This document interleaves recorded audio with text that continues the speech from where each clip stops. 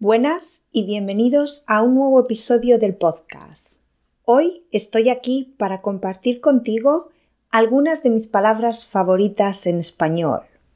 Como probablemente ya sabes, si me conoces un poquito, soy una friki de las palabras. Me encantan. Por lo tanto, te puedes imaginar que tengo favoritas.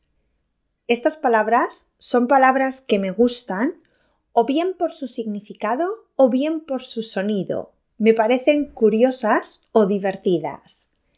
Y además, estas palabras son palabras que, por regla general, no vas a encontrar en los libros de texto, pero que sí son bastante usadas entre los nativos. De hecho, todas las palabras que voy a comentar se encuentran en el diccionario de la RAE. Podéis comprobarlo. ¿Tienes curiosidad por saber de qué palabras te hablo para ver si las conoces o no? No te hago esperar más. Empezamos. Episodio 151 de Blanca to Go. Mis palabras favoritas en español. La primera palabra es chirimiri. Decidme que no suena bien. Chirimiri significa una lluvia ligera, una lluvia muy muy fina.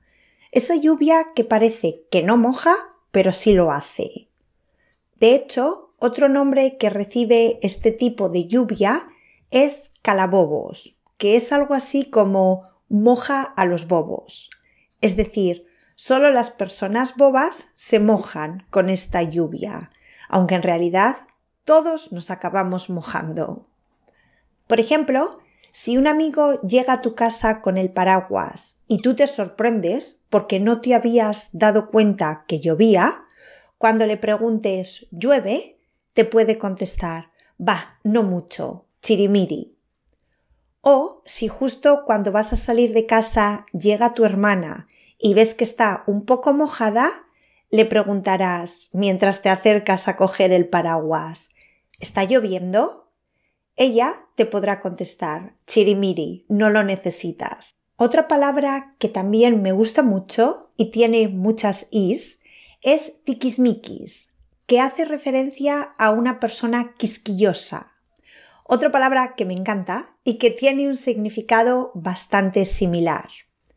Es una persona excesivamente correcta, que presta mucha, demasiada incluso, atención a los detalles estas personas suelen resultar un poco molestas porque dan importancia a cosas que la mayoría de las personas o ignoramos o no les damos importancia. Por ejemplo, imagina que has hecho un buen examen de español, pero la profesora es muy estricta y le gustan las cosas de una manera específica. Por lo tanto, cuando comentes con tus compañeros tus pensamientos sobre el examen, puedes decir, yo creo que he hecho un buen trabajo, pero no sé qué pensará la profesora.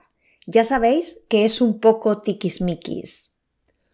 O si estás planeando un viaje con amigas y una de ellas, que tiene unos gustos elegantes y caros, empieza a decir que ella no quiere dormir en un hostal, ni comer bocadillos, o caminar mucho, le puedes decir, no seas tiquismiquis que no es un viaje de cinco estrellas. No tenemos el presupuesto.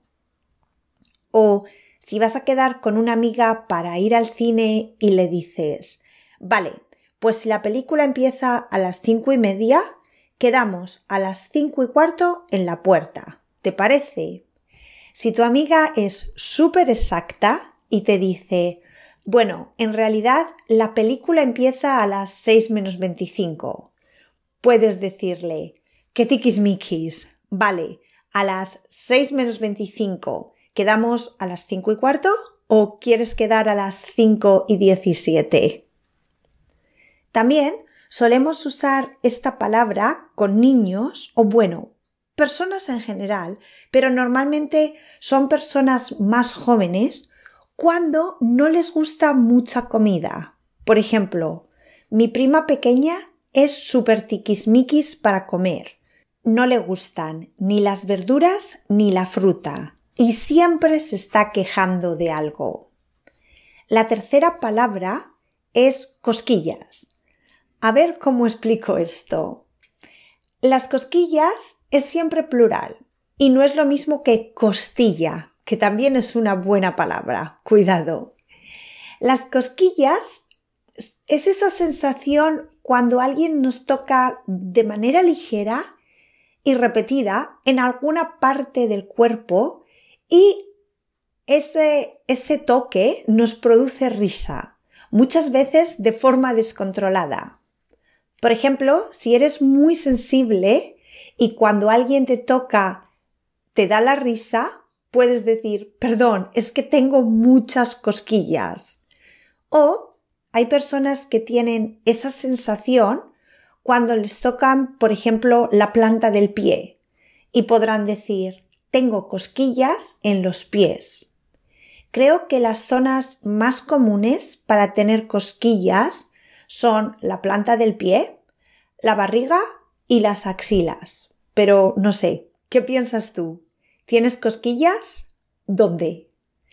Y si alguien intenta hacerte reír tocándote en esos lugares, le dirás, no me hagas cosquillas. Y yo añadiría que lo paso muy mal, porque no sé para ti, pero a pesar de lo mucho que me gusta la palabra, no es una sensación muy agradable. Si queremos algo más agradable, usaremos su diminutivo, cosquillitas, que es otra palabra muy buena y que se suele usar cuando queremos un pequeño toque en el brazo, como un masajito ligero con las yemas de los dedos solamente. En esas ocasiones diremos ¿Me haces cosquillitas? Queremos esa sensación, pero sin llegar a reírnos y sin que llegue a ser molesta. Solo queremos el contacto. La siguiente palabra es tragaldabas. Tragaldabas es una persona que come mucho. Algunos sinónimos son glotón o comilón. Además de una persona que come mucho, Creo que añadiría que muchas veces lo hace con ansia. Por ejemplo, el hijo de mi amiga, que ha empezado a comer sólidos hace poco, come muchísimo. Cuando le pregunté a su madre, mi amiga, que qué tal iba la introducción de sólidos, me dijo No puedo creerlo. Mateo está comiendo de todo. No pensaba que iba a ser tan tragaldabas. Normalmente usamos esta palabra con cariño, o si vas al cumple de tu sobrina y todavía queda un poco de tarta, puedes decir voy a comer un trozo antes de que venga el tragaldabas de mi primo. ¿Sí? El comilón de mi primo. Porque si no, igual no pruebo la tarta. O si en la misma fiesta mi sobrina quiere repetir tarta, quiere otro trozo, su madre le puede decir no seas tragaldabas que acabas de comer un trozo y hay personas que todavía no la han probado. La quinta palabra es churumbel. Churumbel tiene muchos sinónimos. Muchacho, criatura, crío, renacuajo, niño. Pero decidme que churumbel no suena mejor. Aunque renacuajo me gusta también. Pero es que renacuajo es el bebé de las ranas. Entonces, churumbel, mejor. Al menos para mí. Por ejemplo, no sé cómo Macarena organiza su tiempo. Hace de todo y tiene tres churumbeles. O mis vecinos han tenido un churumbel y se pasan las noches en vela. Pasarse las noches en vela significa pasarse las noches sin dormir. Otra de mis palabras favoritas es cascarrabias. El significado no es bueno, pero lo bien que suena. Cascarrabias. Una persona cascarrabias es una persona que normalmente está malhumorada, se enfada con facilidad. Es una persona gruñona. No sé si estáis familiarizados con los enanitos de la peli de Disney Blancanieves, pero uno de ellos el que está todo el día enfadado es el enanito gruñón o cascarrabias. Vamos a ver algunas situaciones. Un compañero de trabajo te hace un mal comentario y otro compañero lo escucha, te puede decir no le hagas caso, es un cascarrabias.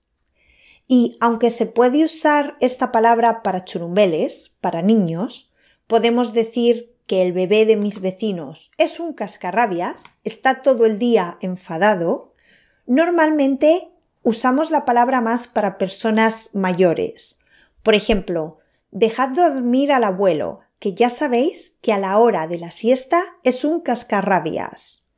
O no molestéis al vecino, que ya sabéis que es un poco cascarrabias y no le gustan los ruidos.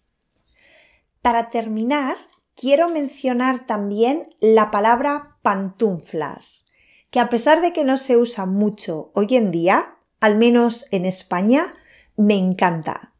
Pantuflas significa zapatillas de estar en casa, el calzado que usamos en casa y creo que suena fenomenal.